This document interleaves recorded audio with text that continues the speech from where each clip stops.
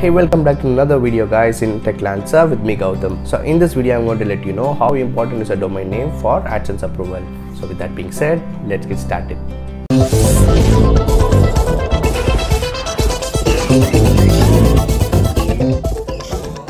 If you have not subscribed to TechLancer YouTube channel, please press the subscribe button and also press the bell icon for every video update. Getting AdSense approval from 2017 seems to be very difficult task. To see this congratulations mail is also a dream for most of the people who are watching this video. Not a problem. There are few things that really matter for AdSense approval. One such factor is the domain name. You may use Blogger till now, but Blogspot has become outdated. It's time for you to shift gears to WordPress with a good domain name. Google AdSense give approval preference for .com domains. So come let me show you how to get a domain name for yourself.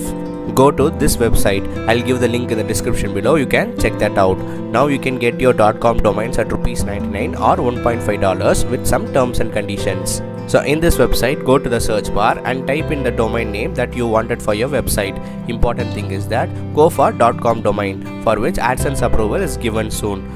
.net or .org are not given preference at all. Once you have purchased the domain, get the hosting space as well if you want to migrate your contents from Blogger to WordPress platform, by which you can get AdSense approval easily compared to Blogger. If you do not want WordPress, after buying the domain name, come to blogger.com. Go to settings, you will have an option called as publishing.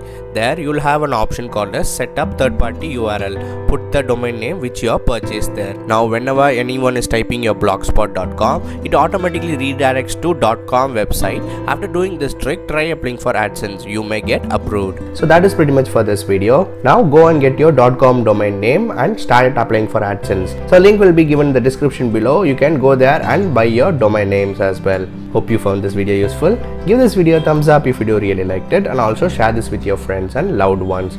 Let me meet you in another awesome video. If you have any questions, put down in the comment section below. I am ready to answer all your questions. That being said, I am Ghautham and I am signing off.